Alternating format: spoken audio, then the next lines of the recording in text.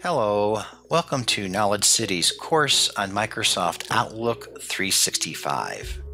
My name is Matt Warming, and I am an instructional designer who lives in southwest Wisconsin and has been using this tool for over 20 years.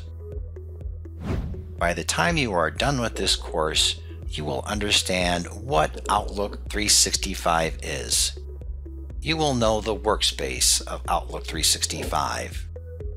You should be able to send a simple message as well as a message with a little bit more pizzazz to it. You will know how email functions in today's business environment.